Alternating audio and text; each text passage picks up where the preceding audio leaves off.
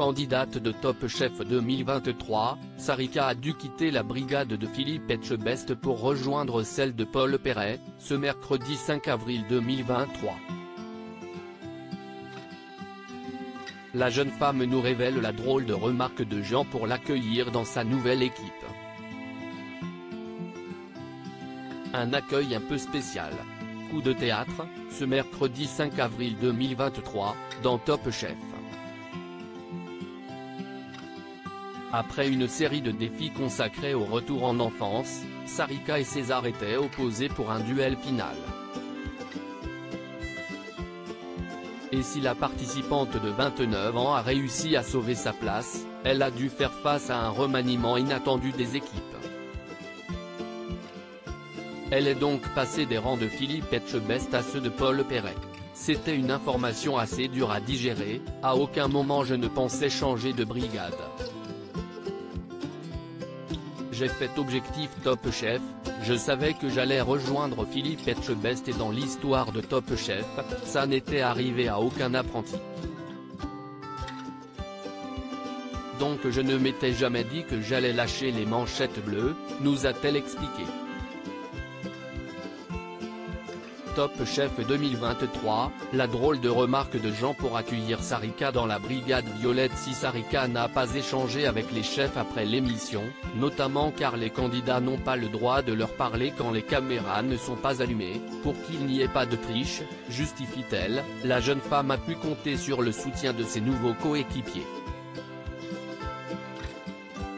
Elle révèle d'ailleurs à Télé Loisirs ce que Jean lui a glissé à l'oreille lorsqu'elle a rejoint l'équipe violette. Moment où je me dirige vers Léo et lui, il m'accueille les bras grands ouverts, il se penche vers moi et me dit « Bienvenue dans la brigade des bolosses », aurait murmuré le cuisinier qui ne manque pas d'humour et de second degré.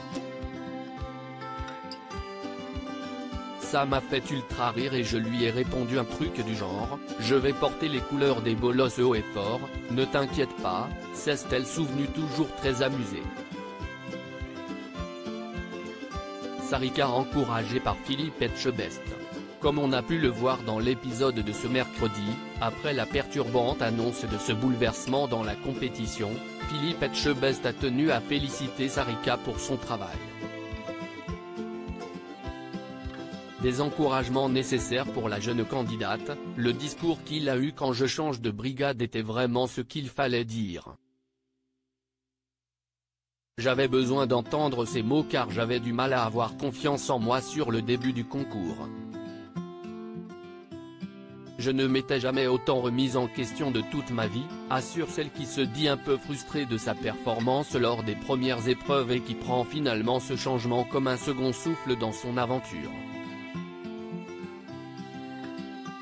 À lire aussi je n'imaginais pas ça, Sarika, gagnante d'objectif Top Chef émue de quitter la brigade de Philippe Etchebest dans Top Chef 2023.